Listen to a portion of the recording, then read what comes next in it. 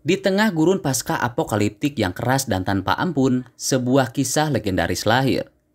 Furiosa, A Mad Max Saga, membawa penonton kembali ke dunia yang dikuasai oleh kekeringan dan kekacauan, di mana hanya yang paling kuat yang bisa bertahan hidup.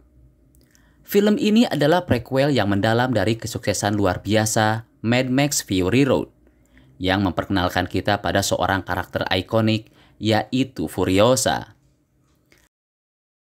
Kisah ini membawa kita ke masa lalu Furiosa, seorang wanita pemberani yang pada awalnya adalah seorang budak di bawah kekuasaan tirani yang kejam.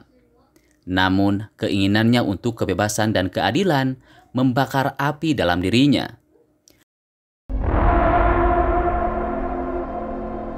Furiosa. Give me this promise. Ketika kesempatan untuk melarikan diri muncul, Furiosa mengambil resiko besar dan mulai perjalanan epiknya menuju kebebasan. My mother was magnificent. However long it takes.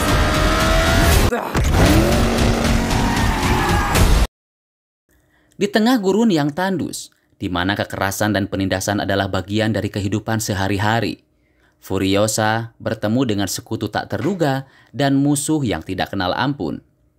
Dia menemukan dirinya terjebak dalam konflik yang melampaui apa yang pernah dibayangkan. Namun, dengan keberanian dan keteguhan hati, dia bersumpah untuk melawan segala rintangan yang menghalangi jalannya.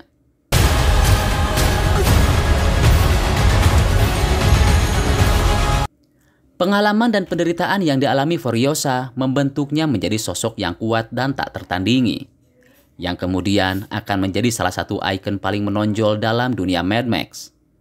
Di tengah kekacauan dan ketidakpastian, dia menemukan tujuan yang paling besar untuk membawa perubahan kepada dunia yang keras ini. Bahkan jika itu berarti harus menghadapi bahaya yang mengancam nyawanya sendiri. Furiosa!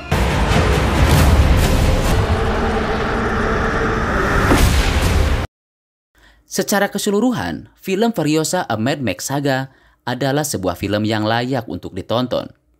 Dengan visual yang memukau, aksi yang mendebarkan, dan penampilan aktor yang memikat.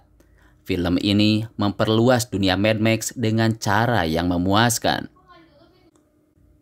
So, enjoy the movie, everybody. Darkest of angels.